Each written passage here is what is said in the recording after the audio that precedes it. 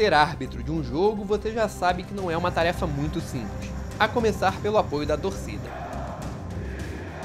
Não, isso aí faz parte. Isso faz parte da torcida, tem em todo canto. Isso é, o árbitro só não pode se deixar levar por isso, entendeu?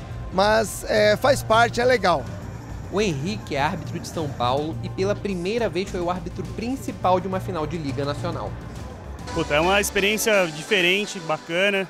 A gente trabalha o ano inteiro para chegar nesse momento. Uh, já havia trabalhado numa final de liga como terceiro árbitro e essa é a minha primeira final de liga como árbitro principal da partida.